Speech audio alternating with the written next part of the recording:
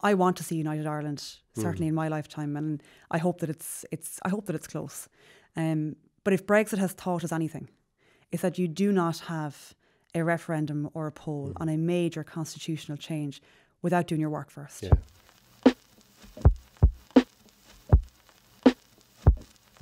Welcome to Ireland Unfiltered. This week's guest is the Fianna Fáil Brexit spokesperson, Lisa Chambers. Um, when you get a politician in these days, it's hard to know what's going to have happened by the end of the conversation. Uh, but it's important to talk about Brexit because it is the thing that is shaping um, every conversation right now, but also is going to shape Ireland for for many years to come. And it was fascinating talking to Lisa about it uh, her point, her party's points of difference with Fine Gael on it, uh, and also a broader conversation about how somebody um, at the age of 34 becomes a leading light in Fianna Fáil and what that means for uh, somebody who you know had a very different career path in mind until she became a member of Fianna Fáil just over 10 years ago. It was a really interesting interview. Uh, before we go to it, don't forget to subscribe to Ireland Unfiltered on all the usual channels. And if you like the show, please leave a review. Lisa, welcome to Ireland Unfiltered. Thank you. Thanks for having me. It's great to have you here. Um, when do you think we'll ever stop talking about Brexit? Honestly, I think it'll be with us for the next couple of decades. Do you? Um, I mean, when you think about it, we're only in phase one. We're only talking about the UK mm. exiting. This was meant to be the easy part. Well, I don't know. We probably thought it was going to be the easy part. Um, this is just them leaving, them mm. exiting. So we still have to do, do the whole discussion on the mm. future trading arrangement. And, you know, take, for example, Canada. That took nine years to negotiate a future trading arrangement. And it's the Canada style deal that mm. the, the, current PM wants. So um, I think we have a long way to go on Brexit yet.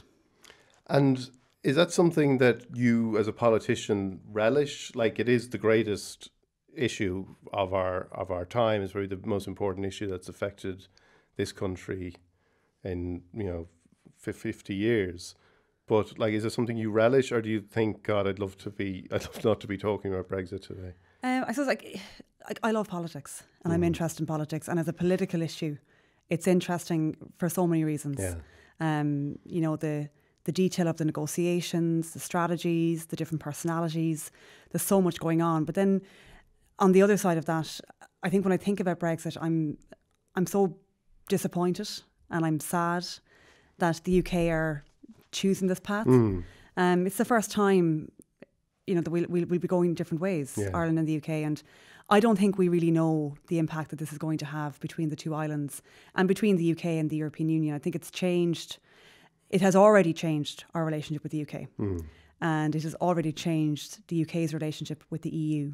And I think that that change will evolve over time. But, um, you know, I think that it's it is going to have a profound impact on the European Union project, which I really believe in. It's the it's a peace project first and foremost. Mm. That's where it originated. And it is disappointing and worrying to see that destabilised a little bit. Yeah. And when I see Boris Johnson and Donald Trump cozying up and the UK looking as though they're moving towards the US. And you think about the geopolitical landscape, and mm. you know, the, there's a lot of upheaval, uh, yeah. and I do worry, you know, uh, how that's going to work out. And do you think they thought it through? Like, do you think, like, I, I saw a story today or this week in the Financial Times about uh, a meet, meeting between Juncker and Boris Johnson, where Juncker has supposedly told commissioners afterwards that it was the first time Boris Johnson f- fully grasped what the single market meant. Yeah, I've heard those reports. I mean, we weren't in the room, so we don't mm. really know. And there's a lot of posturing going on yeah. on all sides, to be fair, and have has there has been for the last three years. Mm. Um, I, I don't believe Brexit was thought through. If you look at the papers the last week and the, the little snippets we've gotten from David Cameron's memoir mm. uh, for the record, you know, he's defending calling the referendum, which I, I actually think that was a bad idea. Mm. Um, but he he believed he'd win it. Yeah. And he was genuinely committed to remain. And um, there really wasn't a plan B. There was no hmm. plan mm. to, to carry out Brexit. Nobody mm. really knew what Brexit was going to be, how it was going to look. And um, you know, he openly says that uh, he, he, says that Michael Gove and Boris Johnson got on the Brexit bus and left mm. the hmm. truth at home. Yeah, it doesn't really get more scathing than that. But he also said that um, Michael Gove was one of the people who said he shouldn't have the referendum. So again, it shows the foolishness of calling it in the first place if the guy who's going to actually come out and, and be one of the lead uh, dissemblers knows knows how toxic this is going to be. completely. And I think it took David Cameron by surprise. It, appears they yeah. were very close friends. Mm. Um, both their families would have spent time together, and uh, I don't think he was expecting the betrayal as he would see yeah. it.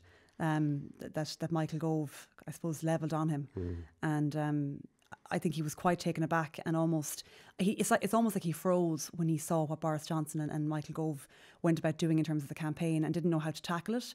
Mm. And he said he was caught between being a prime minister and leading the Remain campaign. And he, he wishes he did things differently, but mm. you know that's hindsight is a great thing. Mm. And if we could go back and do things differently, maybe they would be different. But you know, it, there definitely wasn't a plan for Brexit, and that's why it's been such a struggle for the last three years to try and, I suppose, get that policy delivered in the UK. When you say there's been posturing on both sides, like we we've seen what the UK have done. Like it's you know it's, it's comical and it's you know it would be comical if it wasn't so dangerous. Mm-hmm. What posturing are you talking about on the EU side? Take for example that that that I suppose now famous photograph when David Davis went over to negotiate with mm. the EU for the first time, and he had no papers on the table and the mm. EU team were there with piles of papers looking very prepared and ready mm. to go. You know, that was staged and it had a certain message to send out that mm. we're ready, but the UK are not. Um, could the UK not have just brought some papers? They, they could have done, but I think they were just they, they, were caught off guard, right. you know. And it was so little things like that. There's been mm. little little plays in the last three years. Take for example the, the press conference with the, with Xavier Bettel, the Luxembourg PM, mm. during the week. Um, it was handled badly. You know, do you think he shouldn't have done that? Not exactly. I think Boris Johnson, you know, it was an unreasonable request at the last minute to just change the press conference mm. because the podiums were set up. And as you'll know here, setting up your tech and getting mm. your, your sound and equipment set up, you can't just pick up the podium and walk yeah. inside. It doesn't work like that. Mm. And also, they would have had to have left 75% of the journalists outside because mm. there wouldn't have been space. So I think Boris Johnson's request was unreasonable. But equally, I don't think it helped that Xavier Bettel took to the podium and left an empty podium beside him. Mm. You know, it, it, it, I think that it it just maybe added fuel to the fire. So there's been little things over the last three years on all sides. And um, that include? Do you include? Is like is that the that the heart of of the difference, such as it is between Fianna Fáil's policy on Brexit and Fine Gael's? Because I saw Micheál Martin the other night saying again that the megaphone diplomacy and the triumphalism uh, has which has given you know of, of the Irish side after the original withdrawal agreement was mm. was made or was that deal was reached yeah. has led to the current difficulties. I think it played a I think it played a significant role. If we go back to when the backstop was born, this mm. now most hated mm. word. Um, you know, when that initial agreement was reached and Protocol 49, which was the section in the, the, the hmm. document that became the backstop, um, you know, the Taoiseach went out and said that it was cast iron yeah. bulletproof and rock solid. It was mm. almost as though we've won this one. Yeah. And the negotiations hadn't even started really. We were so far away, and that that got people's backs up on the other side, mm. rightly or wrongly. That was the yeah. the, the effect of it. Mm. So it's it's that kind of um, you know looking for the quick wins. It was it was premature. Who were they looking for the wins with? I think it was maybe a little bit of excitement that we'd, mm. we'd gotten something we wanted. Um, but you have to look at the bigger picture that this is going to this is always going to be a long road in terms mm. of negotiation. Um, but that turned the backstop into such a toxic issue and a toxic part of the of the of the agreement. Um, you know, now it's a, it's as though we can't even mention that word. It's it's so hated. Mm. Even though a lot of people, I believe, you know, particularly within the UK, maybe don't fully understand the, the, the intention behind it. Mm. I mean, it was a good intention. It was there to protect peace and stability on this island. And the idea is that it would never be used. Yeah. It was there just in case. Um, but, you know, again, easy to look back. But again, I think there has been kind of posturing on all sides.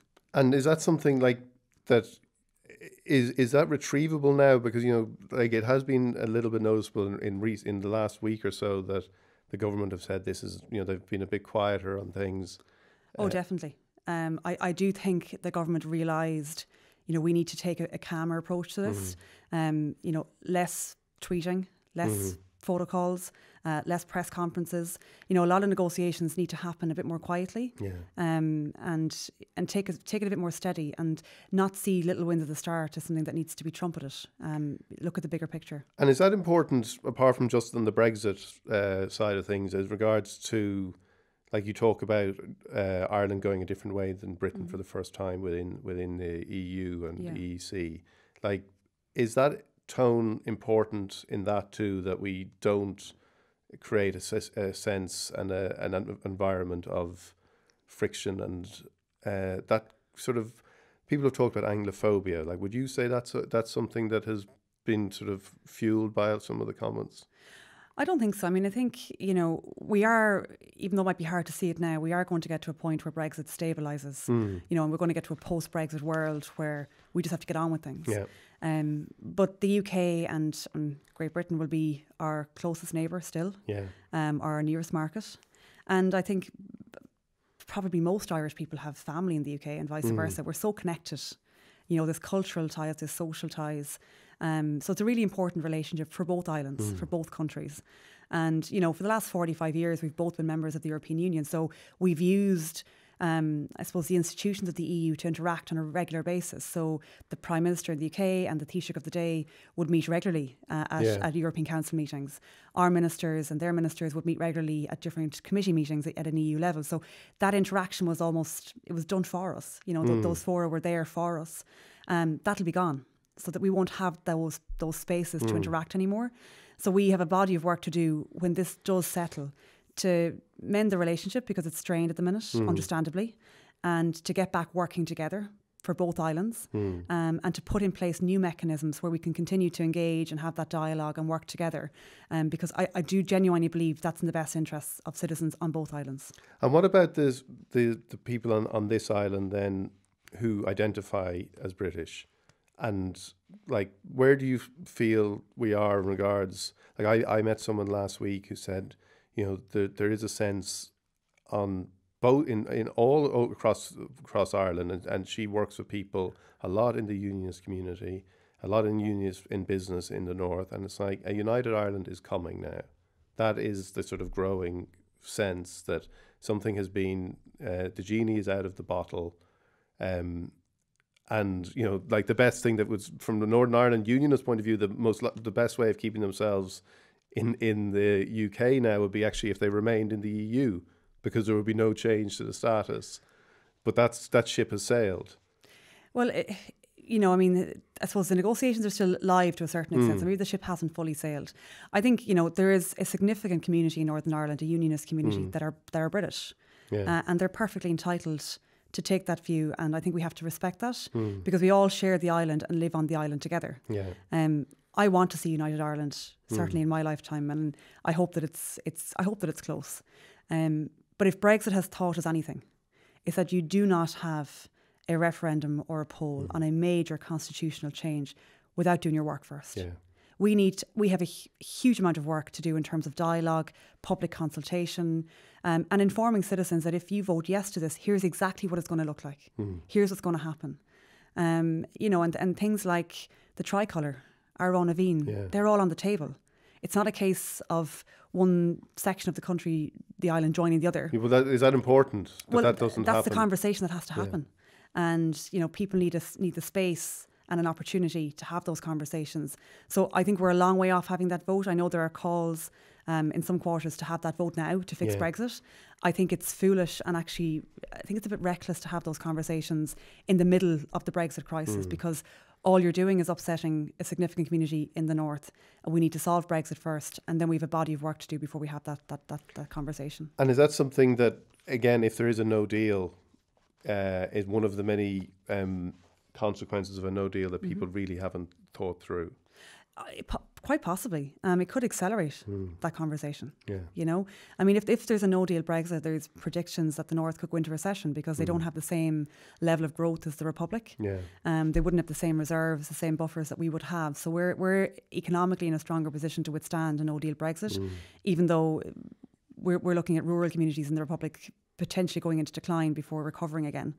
Um, so if, if things go badly for Northern Ireland, um, you could very well see that conversation accelerated, which, you know, I mean, the DUP are very much of the view that, you know, backstop isn't allowed. We have to mm. be the mm. exact same as Great Britain. We can't be treated differently. But by, by possibly taking that position, they could very well accelerate the thing that they don't want. Yeah.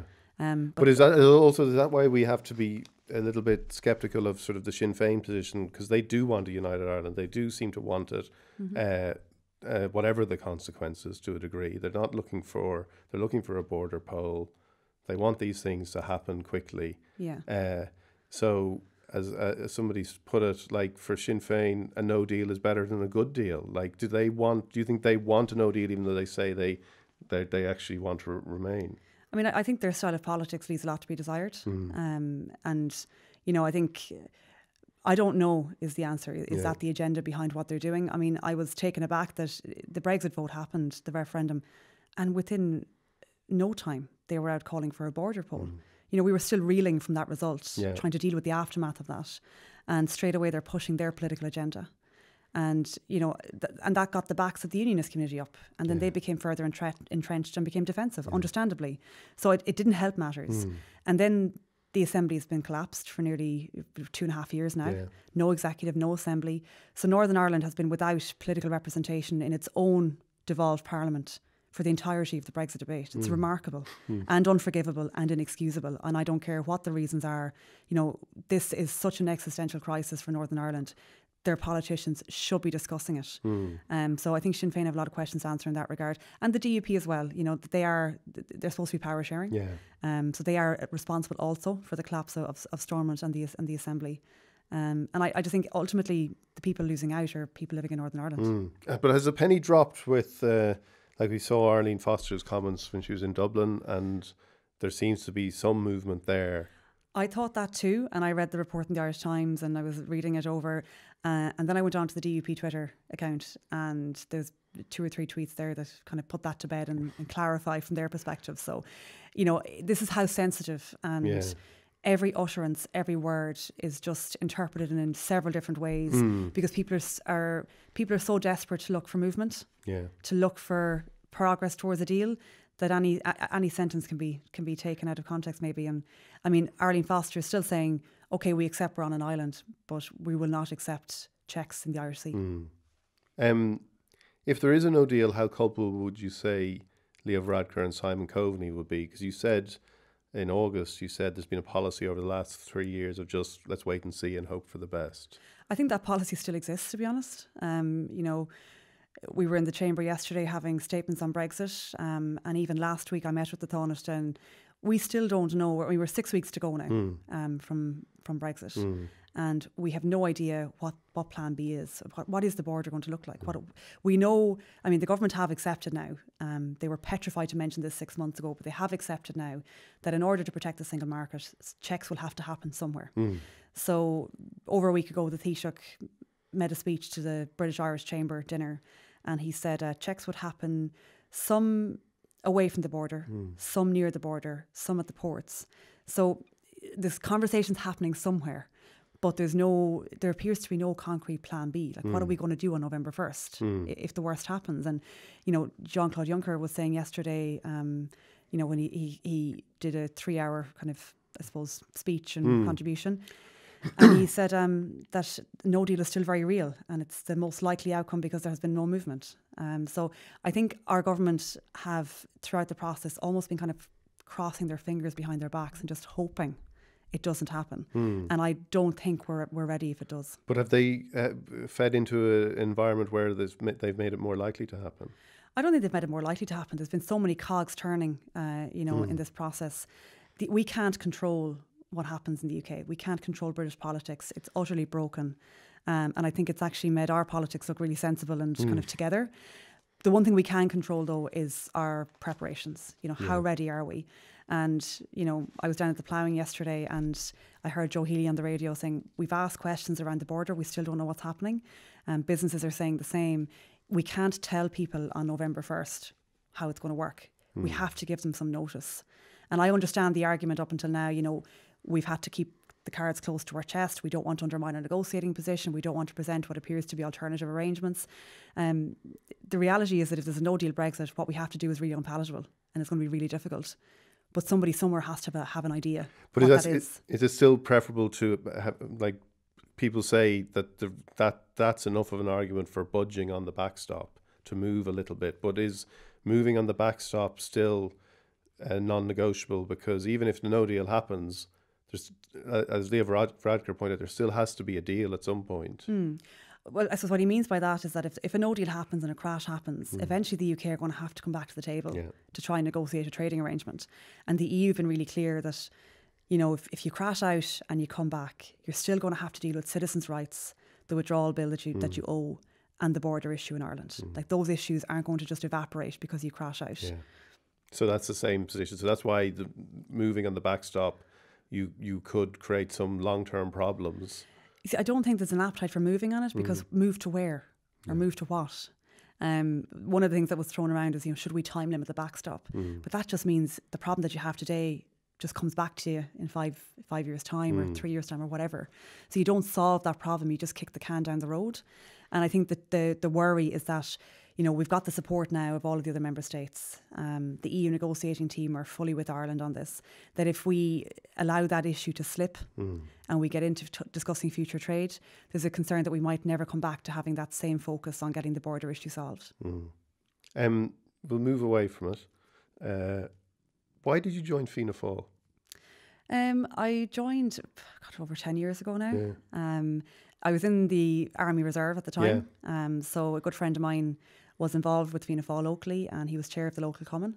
And he asked me to along to a meeting and kind of went from there. I went went along for a look and just um, you liked what? Like it's was it was it a strange thing for? Because I saw you was it you were on uh, front line with some friends. With Pat Kenny, yeah. Yeah. Pat Kenny showed the front line. I was in my master's course in UCD at the time, and actually, separately to that, one of the girls I was re- really good friends with um, was involved in the Kev- Kevin Barry Cumann in UCD. So she was a member of Ógra Fianna Fáil.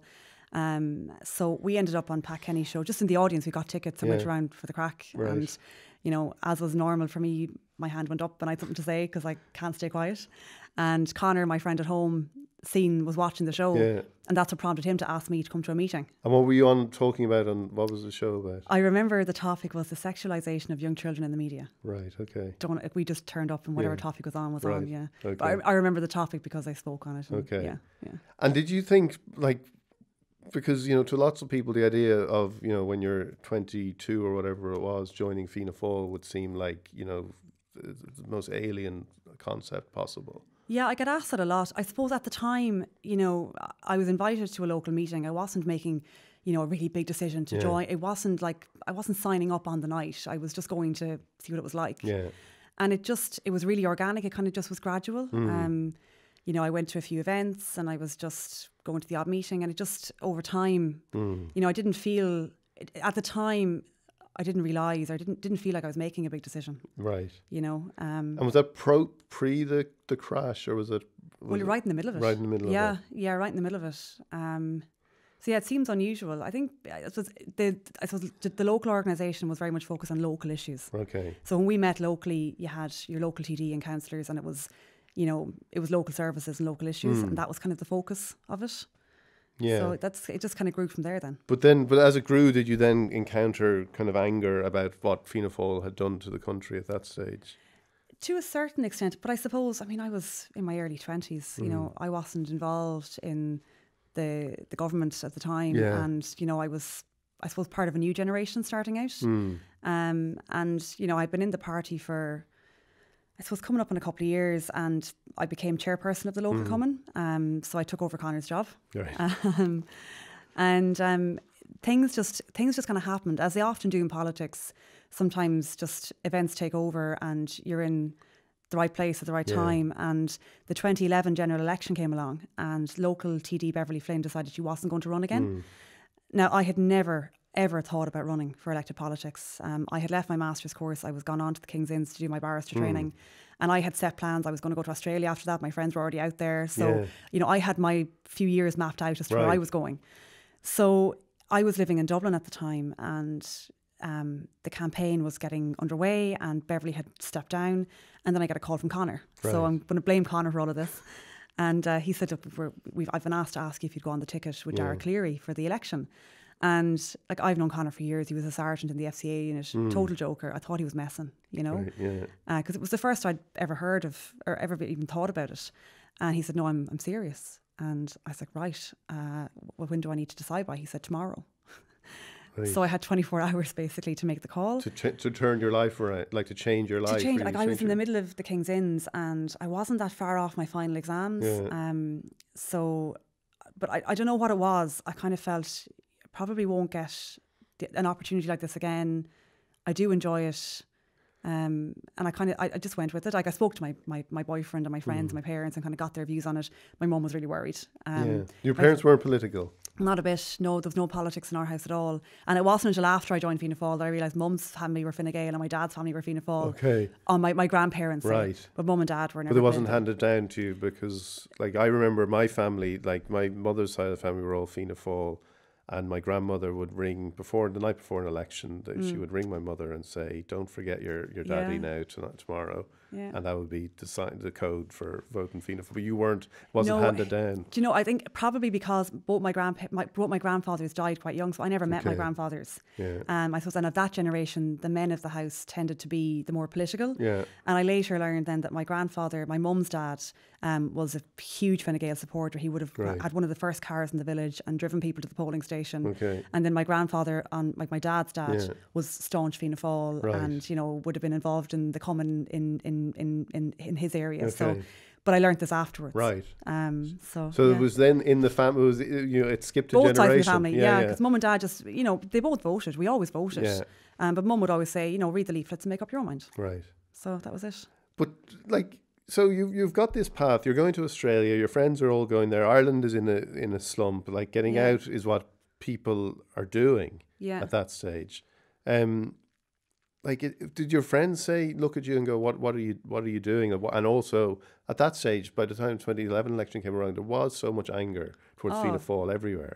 Yeah, well, I think my friends, I suppose they know me well, and they probably knew when I was talking to them that I'd nearly made up my mind, anyways. Right. Okay. And I was always, you know, I, I kind of was always one for giving things go, Hmm. and I found the prospect kind of exciting, and you know, it What was a challenge. what, and what what was the challenge for you? Because, like, what did you think you were going to? What what was the excitement? What did it center on? Because you know you will hear that the, the cynical cliched view of politicians is you know they're just in it for them themselves or whatever. yeah. Like when you tell that story, it's hard to see that that's what's what you're thinking. But tell me what you were thinking. Yeah, I mean, I suppose I thought this was an opportunity. I said, you know, it was always very difficult to get onto a party ticket to run for election. Hmm. There's a huge, diff, you know, huge challenge to get onto a ticket. That's the first battle people Yeah. don't often see, is the internal conventions and getting onto a ticket.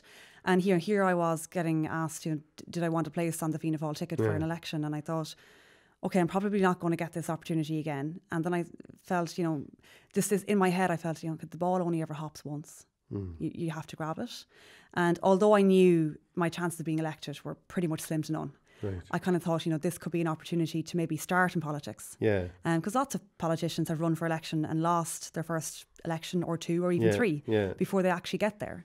And I, I, at that point, I really loved politics and I was interested. Okay. And so it was a gamble and it was a risk. And there was a lot of concern that, oh, it's a really difficult election. I'm not sure you should Hmm. be putting yourself out there. And um, but I said, look, I'm, I'm going to go for it. Hmm. We'll see how it works out. Um, it's not going to be the end of the world if it doesn't work out. You know, I'm just about to qualify as a barrister. I'm going to go travelling. I had stuff going on.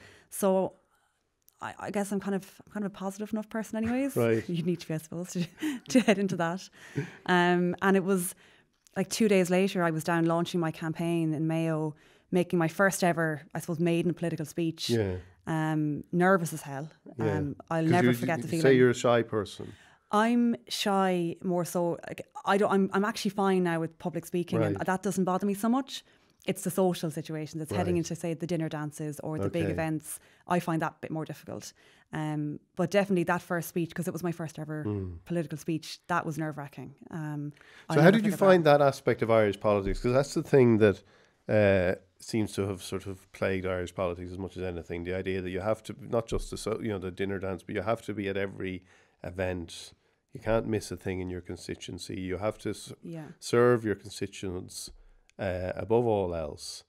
Yeah. And you know everything is like politics is local to the degree that it doesn't really matter, and nothing else really matters. And like, to, do you think that's like how did you like adapt to that? And also, do you think it's something that goes against is to the detriment of actually achieving you know what you might want for for the country as a whole? Yeah, I mean, I still struggle with that stuff. If Hmm. I'm being honest, I mean, I'm what, eight nine years now in politics since I ran my Mm. first campaign, um, and it's been a work in progress for me. Yeah. Definitely, you know, I I would have to be nearly coaxed to go into a room and Right. told to get in there now, and Okay. and I just would just to- I just would take a breath and go, Yeah.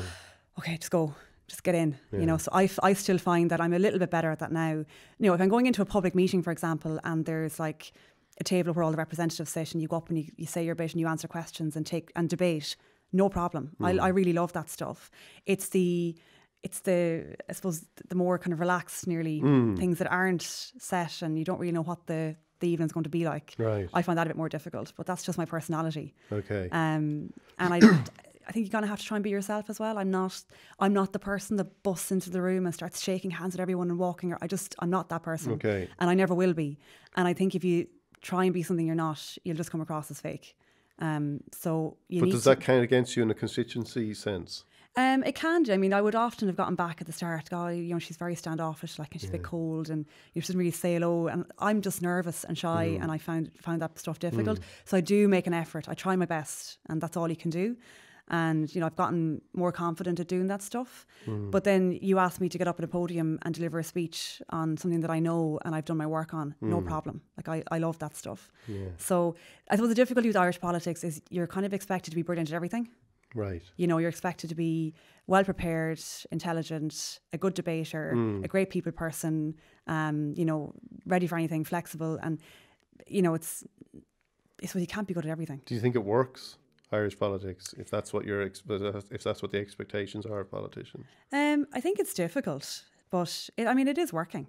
Um, Yeah. And you've got lots of different personalities in the Dáil. I mean, you only have to look at, you know, look at Oireachtas TV and you'll see the different styles of You- you politics. You, were going to say someone there, and then you just well, you know, there's different styles of politician, um, and you know, and I think you know, there's different maybe differences across constituencies as well, and urban versus Hmm. rural, and you know, I think I think it's changing to a certain extent. Um, But does it? But again, is it serve like when you say it's working and there's different po- politics styles?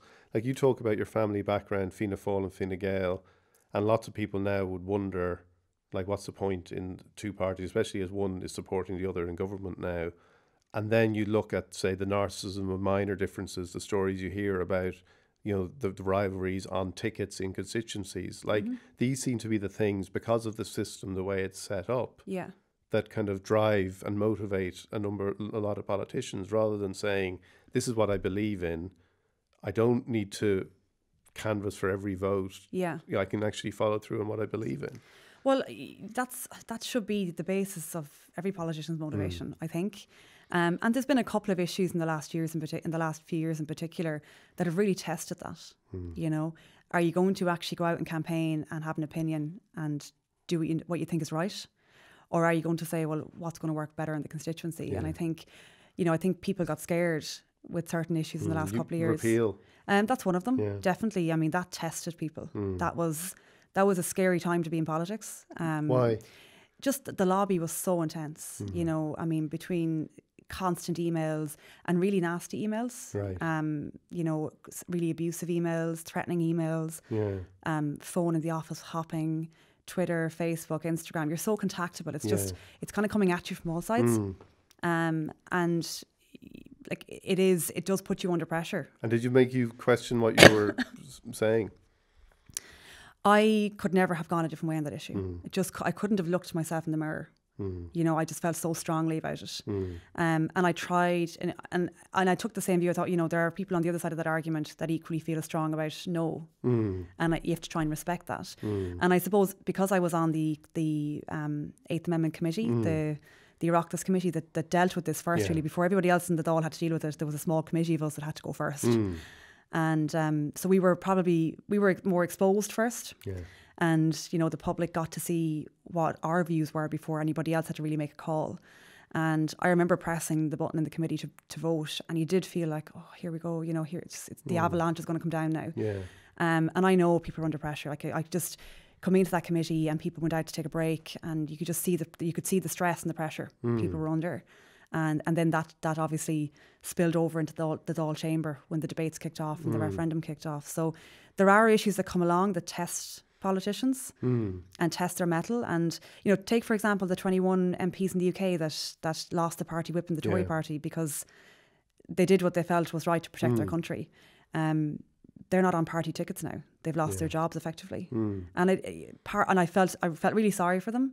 But I actually thought, you know, it's, you've actually restored people's faith in politics to a certain extent. That there are Mm. people there willing to just to put their Mm. job on the line and do the right thing. But no, it doesn't seem to.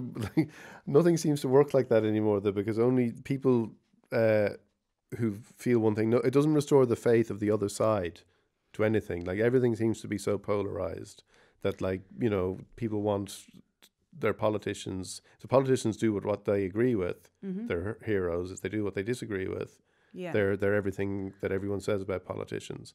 And I'm wondering, like, when you talk about the uh, the you know how contactable you are and, and during like repeal and all that kind of stuff, like how wearing is that on a day to day basis that you know you can be like, and I imagine like th- the stuff you know I got you know t- tiny fraction of that occasion Yeah. like during that, but like just to be turning on looking at your phone on Twitter, Instagram, whatever, getting that abuse. yeah. Like, do you look at it and think I'd been better off going to Australia?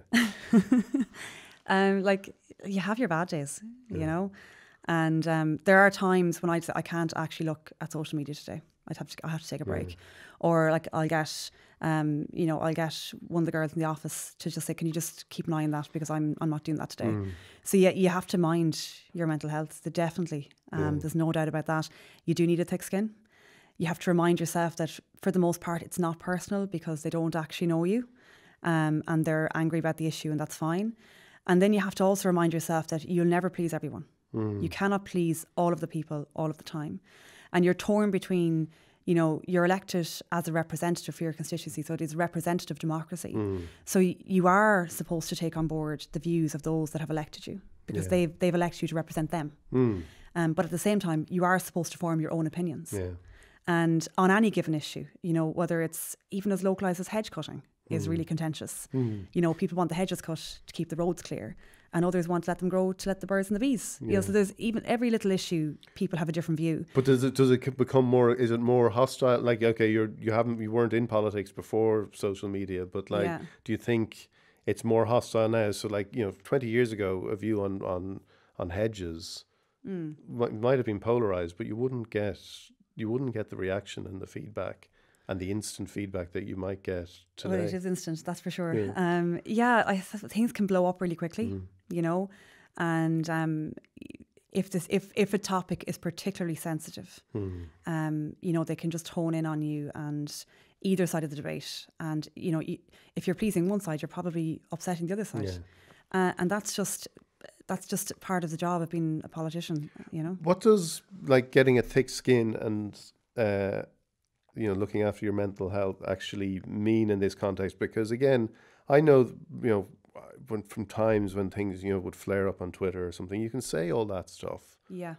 but it doesn't really. You know, the one piercing comment or the one brutal thing just lodges with Mm. Yeah. you. So, like, I don't know how. Like, do you have to take action rather than just say like this isn't personal? This isn't because like that's very that's all well and good, but it's it's that's exhausting in itself too. It is. I kind of like you take little steps. Like you know, when I first started doing, um, say for example, the Vincent Browne show, Yeah. and then I would look at Twitter after the show, Mm. and then I wouldn't be able to sleep because some of the stuff was just awful. You get Yeah. some nice comments, but then you thought, okay, I'm not going to look at Twitter tonight because I actually Yeah. do want to go home and get some sleep. Yeah. So it's just, um, you know, just trying to limit it to a certain. You see, you can't not use those tools. Yeah. You're expected, and in, and in this job, if I'm not putting a tweet out on something Brexit related, that's it means I haven't opinion, I haven't commented. Um, so we're expected to use the tools, and if we're not, we're not doing our jobs properly. Hmm. Yeah. But at the same time, if you don't limit your interaction on Hmm. those spaces, um, you know, I mean, I think I I do think the days of doing thirty or forty years in politics, I couldn't imagine spending that long in this job. I don't think you'd survive it. Really. Yeah, I just think it's you know, I think it's too. I think you'd be a broken person at the end of it. Really. Yeah, I do. Yeah, I think it's too pressurized and too, you know, it's so intrusive. Yeah. It's so intrusive. And is that even truer for, for women in politics today? Like we're meant to be, it's Um, meant to be changing. But when I talk about my experience on social media, you know, it's nothing compared to what women experience in social media and that, that hostility and misogyny that, that women get.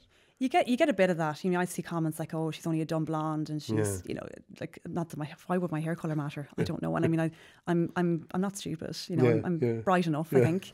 Um, so you do get some of that commentary, you're like, or you know, your your makeup isn't good enough Hmm. for your clothes, or so we probably get more commentary on appearance Hmm. than maybe the guys will get. But uh, you know, the, the guy, the men in politics get a lot of abuse as well. Like it's Okay. it does happen um, for both. You Yeah. know, um, so I don't know what you can do about that. I think we could all try and be a bit kinder to one another.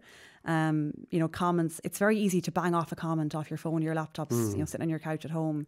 You know, you're useless. You're stupid. You're X, Hmm. Y, and Z. You know, it, at the end of the day, we are people. Yeah. Um, we do have feelings. You know, Yeah. we're not stones. so, and sometimes I think people think, oh, that's a politician. We can say whatever we want. They, that, that doesn't impact them. But then, but do you not feel if you say you've got a th- you have to have a thick skin, people just think, oh, then we can say what we like. Maybe oh, it's if I, time to say. I've no doubt the commentary will be like, well, then don't be doing the job if you can't handle it. So, you can't win. Like, because I noticed why we had a politician. Uh, I won't. I don't know uh, when Lynn Boylan was here. I don't know why I wasn't going to say her name. I asked her the first question I asked her was about losing her seat and how that felt, yeah. and I thought, and we talked about it afterwards. Like she was slightly startled at being asked about How her, she felt. how she felt I know. because it's assumed that you just come in yeah. and you do an interview and it's like you know throw a few like you know barbs and like you know Yeah. that kind of thing but actually to say how do you feel is kind of not what's meant to be asked of politicians Yeah, I mean, I, I you know, it it'll, it happens to most politicians eventually that you lose your seat. Very, you know, very few politicians know when the right time is to exit and when to step aside and let somebody else through.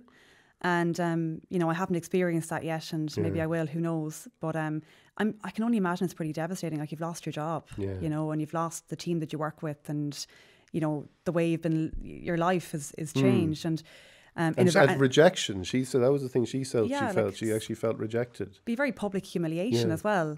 Um, and then everyone's looking to see, well, what did you do wrong to Yeah, cause it? yeah. Mm. So there's very little sympathy, I think. Um, and, and that's politics. It's representative democracy and there's always changeover. But of course you're going to be upset Yeah. about losing your seat. but it is interesting that you say that because like what do you see as the future then for politics if you're going to come in and what do uh, five ten years and just be actually burned out by the process of it Um, like five or ten years is actually a really short time in politics. Like I'm three and a half years now in the Dáil, and you know it's it's it's slow to get stuff done, and there is there's definitely a benefit of having a bit of experience. You know, as every year goes on, you know, I feel like I understand the system better. I'm, you know, I know what I'm doing a bit better. You, you learn every year. You're learning as well, so it's good to have people with experience. Yeah. Um, everybody can't be in their first term, or else nobody know what they're at. You know, and you need it's good to have a little bit of changeover. It's good to bring in fresh people, you know, into the the Dáil and the Seanad and into every political party. So you need that constant changeover, but you can't have everyone changing at the same time. Um, in the last Dáil in, in 2016, the last election, it was like the biggest changeover. I think I think we'd like in the region of say 50 new people coming in.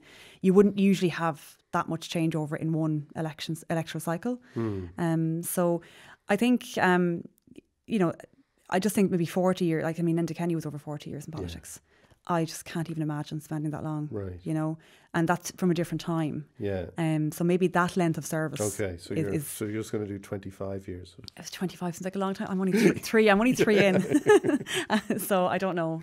Who knows? you Yeah, know? but it is an interesting because Nicola Mallon was on last week, and we we she talked about this as well and the wear and tear, and I think maybe there's uh, it's not unique to Northern Irish politics, but there's again the polarization.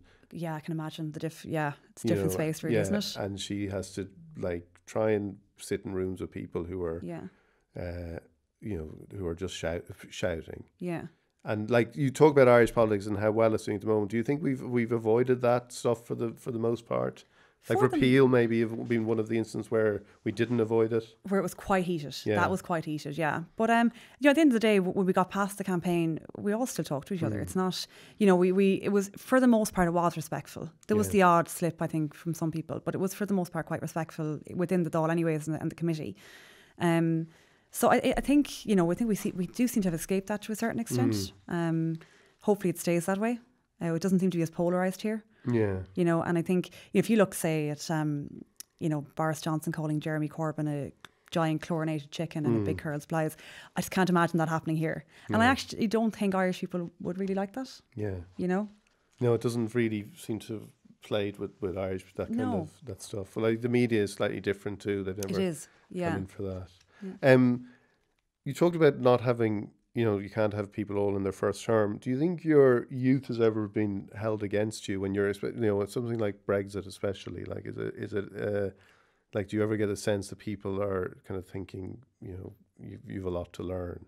Um, maybe they do. They've never said it to me. Yeah. You know, I'm sure if they're they're, they're probably expecting somebody maybe a little bit older and um maybe they do wonder, you know, Yeah. about experience. But I suppose I'm, you know, I have I have my own life experiences to bring to Yeah. the table. So I don't know. I mean, th- there's been times, you know, I've, at the beginning, um, say interacting maybe with different politicians from other countries, where they're going on. So who do you work for? They're Right. assuming that I'm there as a member of staff. And I'm Okay. like, no, I'm actually the TD. nice to meet you. So there's been a couple of instances of that. Um, but for the most part, I mean, you know, I feel like I've been treated as an equal. Yeah. Genuinely, you know, I've had no difficulties and I've always been able to get my speak in and do my, do my work. Talk to me finally about the defence forces, and you know that was it. That was your passion, was it? Was yeah, yeah. I actually met up with the guys from my officers course the weekend. We meet up every year. We go and do some sort of a, a kind of an activity for the day and then head out. So, um, it was a, it was a huge part of my life. Like I joined when I was late teens. I was still in secondary school in the barracks in Castlebar, that? Hmm. and um, I remember it was my neighbour Anne Marie actually, who was a couple of years older. She was sending me in to join up, and she said, "You know, whatever you do, don't go in the first door. Make sure you go up the stairs and go in the second door." And I didn't really know what the difference was. I later learned that the first door was the battalion and the second door was the cavalry. So I joined the cavalry. Okay. Thanks, Anne Marie. um, so um, yeah, I joined. About twenty of us joined together that night, and a few years later, it was just me left out of that intake, Right. and I just took to it. Just loved it. Um, Why? You know, it was just so different. You know, we'd be heading off on you know week a week or two training every year. We'd be doing ca- weekends away, training nights.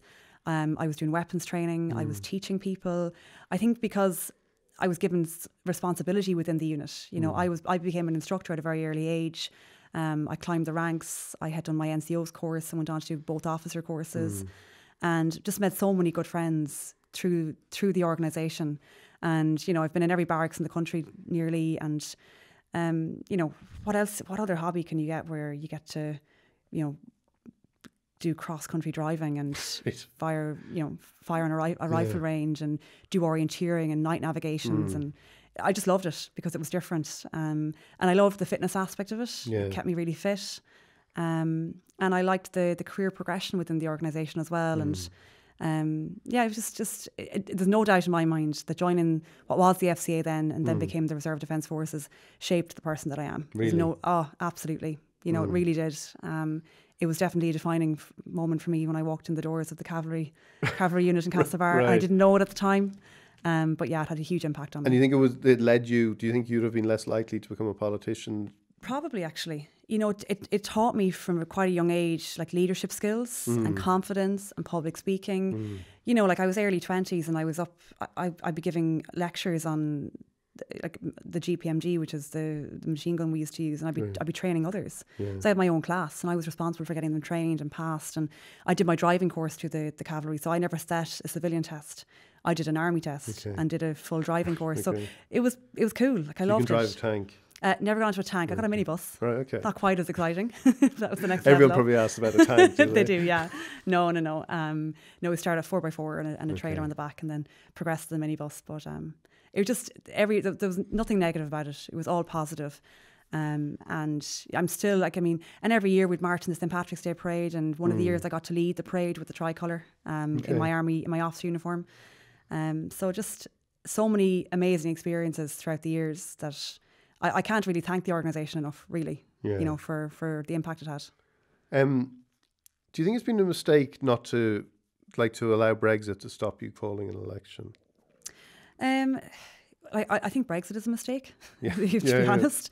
but if you, Um, when you say it's going to go on for decades, like, is there ever going to be? When you look back now, you think, well, actually, there's a year there where maybe there was an opportunity to call an election. The Fianna Fáil is so opposed to like things this government is doing on housing, and we had Micheál Martin on this show last year. He talked passionately about the class based policies of Fine Gael on Yeah. housing, and it's the issue that you know among your generation. It's huge. It's Like, huge. yeah, I mean, you know, we couldn't really have known how the year was going was going to Mm. develop, and we've been kind of on this cliff edge. Even so, we were kind of working up to March. Like, like Yeah. March was the last deadline for the cliff edge, and we didn't go over the cliff, thankfully. And then it moved on to October, and we we just haven't really known what was going to happen. So when I say Brexit will be with us for the next couple of decades. You know, I mean the impact of, Yeah, of them yeah, yeah. leaving and the future trading negotiations, but the immediate threat of a potential no deal, Hmm. we're six weeks away from that. Um, and the difficulty is that I, I think the, the the era of majority governments is, is probably gone in this country. Um, so we know from the last occasion in 2016, it took us nearly three months to negotiate a confidence and supply arrangement Yeah. and to get a minority government in place.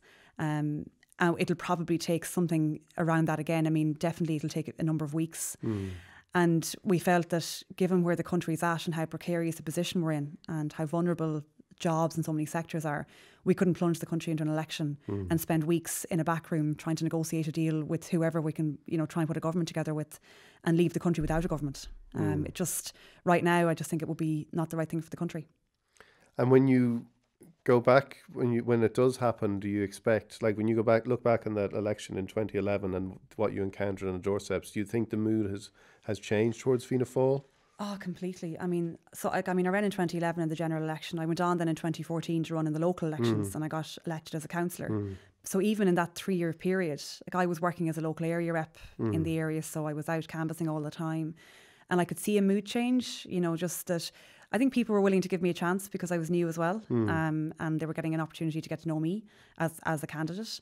And then the 2016 election, and even more recently, then we've had another round of local elections and European elections, which obviously I, I was heavily involved in. I was director of elections for the European elections nationally.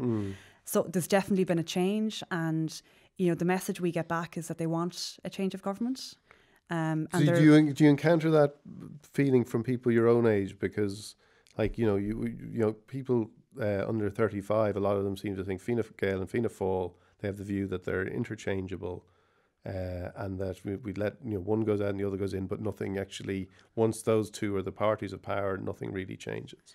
I don't actually get that. And that's a very simplistic view of it. I think people under the age of 35 are as informed as No, I'm not saying, but they, know, they, I don't mean that they're not informed. I mean that they're the ones who've experienced the uh, the worst. the of worst it. of it. Yeah, I mean that's that's on my my my generation.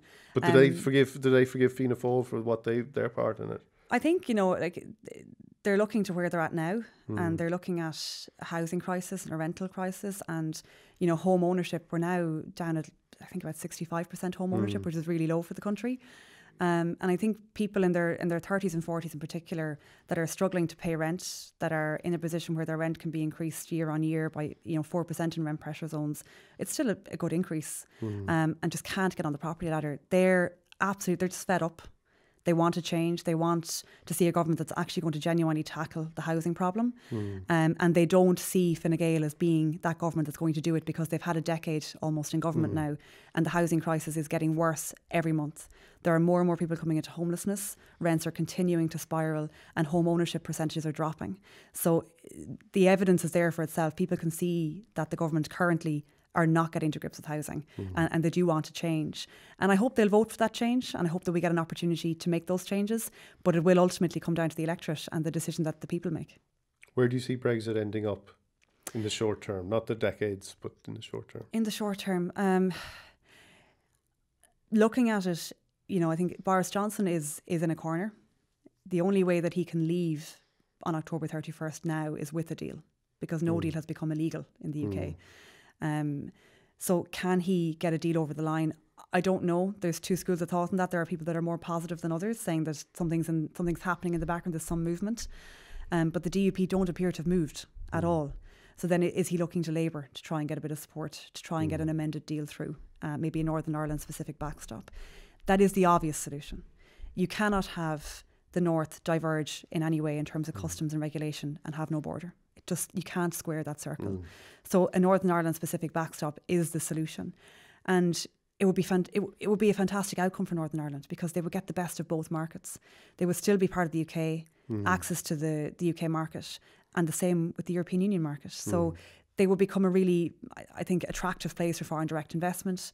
So it could be the one little silver lining out of it all. Um, if only there could be movement in that direction. I think if that doesn't happen, um, we're looking at a, a general election in the UK. Um, and I would be really worried actually that if if the deal isn't done and there is a general election in the UK, it's looking as though the Conservative Party are going to win that election currently. And they may deliver an even harder Brexit than what's currently been proposed. Um, so I actually think it's in our interest to see that deal done before October 31st. Lisa, thanks very much for coming Thank you today. very much. Well, who knows where we're going to be with Brexit uh, next, but that was a fascinating conversation with Lisa Chambers. Before we go, don't forget to subscribe to Ireland Unfiltered on all the usual channels. And if you like the show, please leave a review.